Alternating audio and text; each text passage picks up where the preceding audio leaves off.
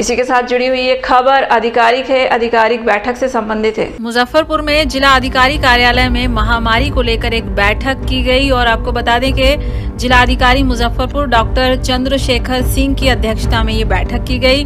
57 active containment zone है और इसी को लेकर संबंधित अधिकारी और पदाधिकारियों को ज़िम्मेदारी दी गई है। वहीं बैठक में कोरोना वायरस को लेकर जो जो गाइडलाइन है, उससे संबंधित सभी अधिकारियों को जानकारी देते हुए ज़िम्मेदारी दे दी गई है। बैठक में सिविल सर्जन, स्वास्थ्य विभाग के अन्य चिकित्सक, सहायक समहर्ता खुशबू गुप्ता, अनुमंडल पदाधिकारी, पूर्वी कुंदन कुमार, अनुमंडल पदाधिकारी, पश्चिमी अनिल कुमार दास सहित बड़ी संख्या में अधिकारी मौजूद थे।